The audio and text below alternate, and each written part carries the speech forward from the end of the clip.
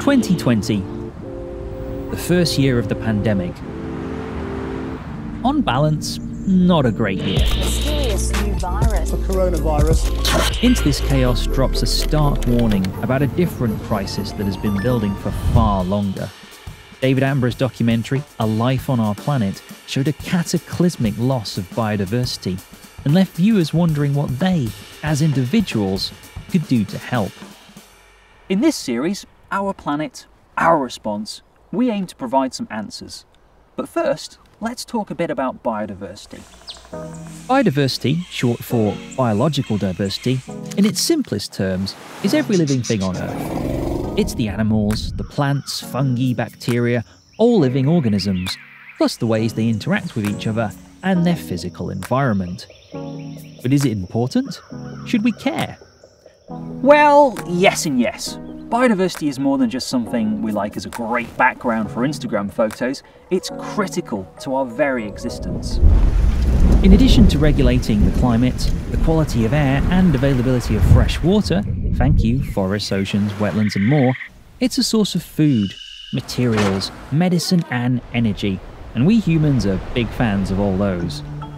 And things aren't always so clear cut.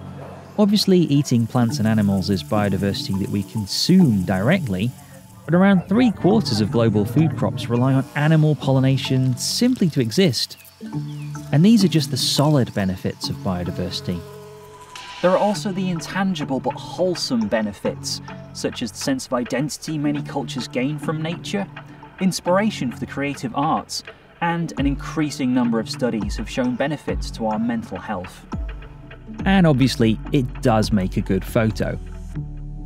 So, biodiversity is marvellous, and life would be marvellous too, were it not for the fact that biodiversity is disappearing. Studies across the globe, across multiple types of organisms, and across many years have found the same worrying trends again and again a dramatic loss of biodiversity. An independent report in 2019 concluded that 1 million species of plants and animals are threatened with extinction. In 2020, the Worldwide Fund for Nature looked at the Living Planet Index, a measure of relative change in biodiversity. This showed an average decline of 68% between the year 1970 and 2016. Looking closer, you find so many figures of declines that to list them all here would be nothing more than a sea of numbers. That's where A Life on Our Planet came in. The 2020 Attenborough documentary cut through the numbers and highlighted five main drivers of biodiversity loss.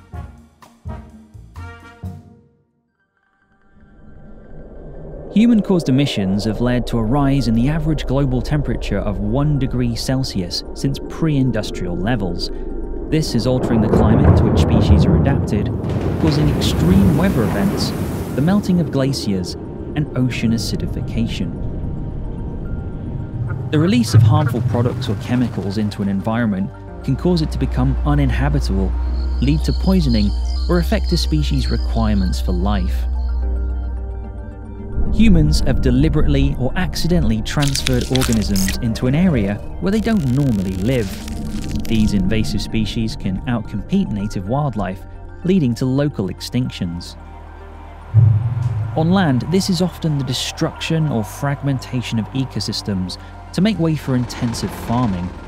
Aquatic environments aren't safe either, with rivers being diverted, coastal habitats subject to development, and the oceans can be affected by the fifth main driver of biodiversity loss. Overfishing can destroy marine ecosystems. Well, it's a similar story on land, with overharvesting of natural resources, such as forest trees for timber.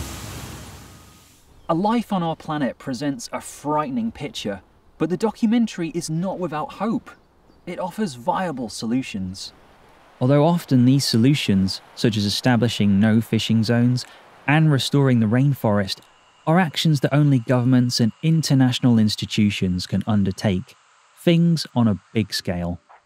This series aims to provide some possible actions that we as individuals can take.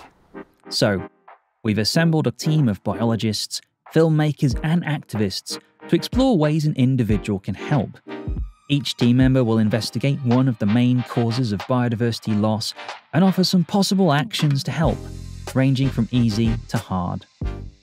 We haven't included habitat destruction because we thought it was a generally well understood topic and wanted to dive into some of the more complicated areas. Finally, an important message. The solutions we're going to offer you aren't going to save the world by themselves. We wish they could, but we have to be honest about that. But that's no reason to get disheartened. By trying those solutions, and by talking about them, you become an ambassador for change. You're raising awareness of the problem and highlighting ways to tackle it. So, let's get into our team's responses.